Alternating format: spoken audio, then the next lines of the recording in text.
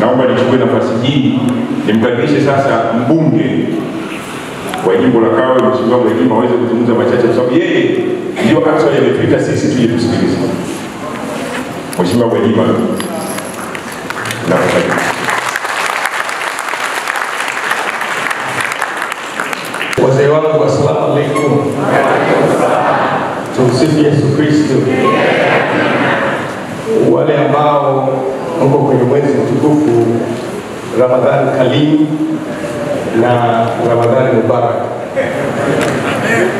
Uh, Mheshimiwa waziri wetu wa serikali ya Jamhuri ya Muungano wa Tanzania kwenye dhamana ya mambo ya ulinzi Mheshimiwa makamanda wangu na wananchi wangu kwa ujumla, tunamshukuru Mwenyezi Mungu leo tumepata nafasi ya kuwa na mheshimiwa waziri katikati yetu. Kumekuwa na mambo mengi sana kati yenu, wengi sana wanakuja kwenye ofisi ya mbunge wa jimbo la Kawe kama wapiga kura wa mheshimiwa rais na pia kama wapiga kura wa mbunge wa jimbo la Kawe. Sasa mimi nikaona vizuri, sasa miaka mingi na muda mrefu hatujapata connection ya kusikia kutoka kwenu kwa pamoja, lakini pia kusikia kutoka kwa waziri wetu.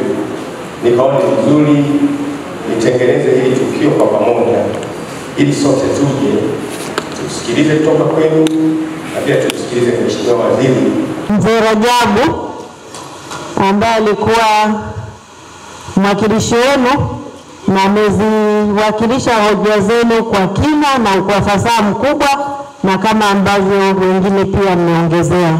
Kwa hiyo tunamshukuru.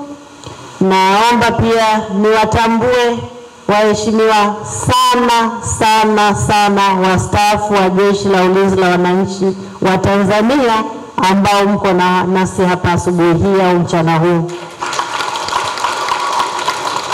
ambao pia ni jeshi letu la akiba.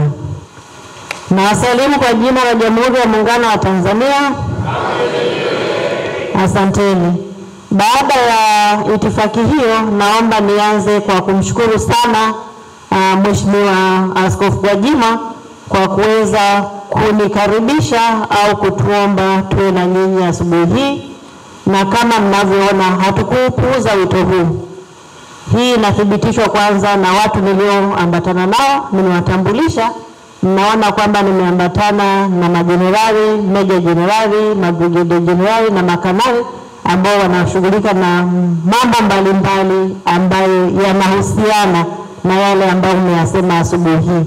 Hii peke yake iwathibitishie kwamba tumekuja hapa kwa nia thabiti ya kuwasikiliza na sio kuwasikiliza tu. Baada ya kuwasikiliza, tuweje kujua kwamba yale mlioyaleta mbele yetu tutayafanyia kazi namna gani. Kwa hiyo tumelipa uzito mkubwa sana.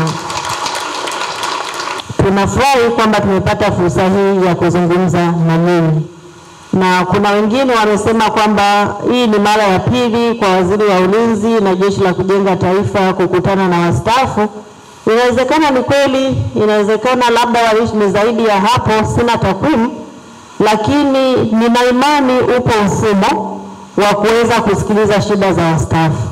Lakini baada ya kusikiliza ambayo yameongelewa leo hapa na chukua hili kama ni kwamba pengine tutaangalia huo mfumo uko namna gani, na tuweze kuona huo mfumo tunaweza kuboresha namna gani, ili tuweze muweze kupata fursa za kuweza kutoa hoja zenu, dukuduku zenu mara kwa mara, kama mfumo una upungufu.